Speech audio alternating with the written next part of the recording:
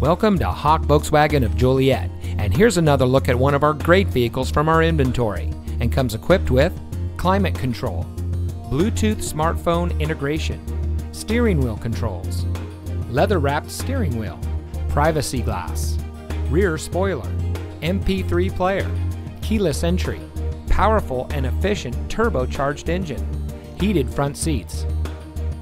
As Chicagoland's number one volume Volkswagen dealer, Hawk Volkswagen of Joliet is your premier destination for purchasing your next vehicle.